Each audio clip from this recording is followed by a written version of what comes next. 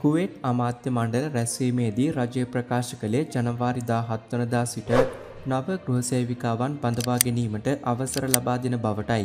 මාස 10කට පමණ පෙර කුවේටේ නව ගෘහසේවිකාවන් බඳවා ගැනීම නවතා දැමීමෙන් පසුව නැවත ආරම්භ වේ. සංචාරක තහනම පැනවීම නිසා මෙම තහනම ක්‍රියාත්මක වූ බැවින් කුවේටේ බොහෝ ගෘහසේවිකාවන් ඔවුන්ගේ වර්තමාන රැකියාව අතහැර කළු වෙළඳපොළට ඇතුල් වී තිබෙනවා.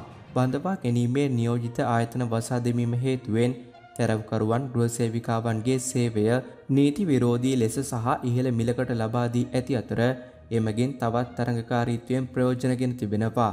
මෙම තැරවකරුවන් ගෘහසේවිකාවන්ගේ සේවය පැයකට කුවෙට් ඩිනාර් විසි පහක් සහ මසකට කුවෙට් ඩිනාර් දෙසිය පණහක් සඳහා දැන්වීම් පළ කර තිබෙනවා. නීති විරෝධී ගෘහසේවක ජාලය තුළ මුදල් තැරවකරු සහ ගෘහසේවකයා අතර බෙදේ.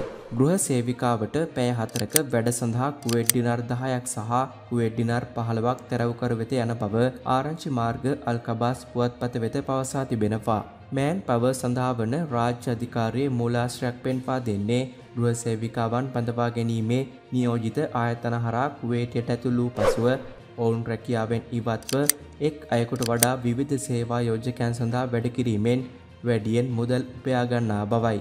ගෘහ සේවිකාවන් විදේශයන්ගෙන් බඳවා ගැනීම කුවේටේ තහනම් කළ පළමු අවස්ථාව මේ නොවේ. දෙදස් දහනමේ අප්‍රෙල් මාසයේදී කුවේටය ඉතිෝපියාව බුර්කීනා ෆාසෝ භූතානය ගිනිියාව සහ ගිනියා බිසව් යන රටවල් විස්සක් තහනම් රටවල් ලැයිස්තුවට එක් කලා. දෙදස් විස්ස ආරම්භේදී පිලිපේන ගෘහසේවිකාවක් ලිංගික අපයෝජනට ලක්කර ඝාතනය කිරීමෙන් පසු පිලිපීනයේ ගෘහසේවිකාවන් කුවේටයට බඳවා ගැනීම තාවකාලිකව නතර කළා.